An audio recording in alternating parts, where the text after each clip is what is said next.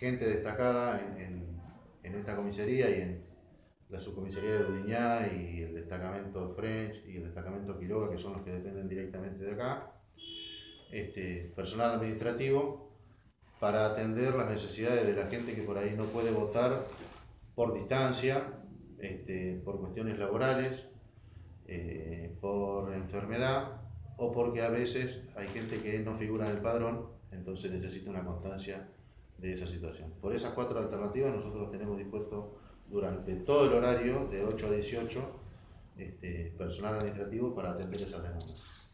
¿El sábado a la noche va a haber algún control nocturno por bares? El sábado a la noche, eh, a la noche no, no, no abren los, los bares, los boliches, los lugares públicos, claro, depende de vida, están cerrados. Nosotros vamos a, a tener el control de, de esos espacios este, para que no abran, pero ya están todos, saben que no abren, así que no. ¿Hay un horario, comisario? Sí, el mismo horario de la, de la elección anterior, que es el de las 22 horas.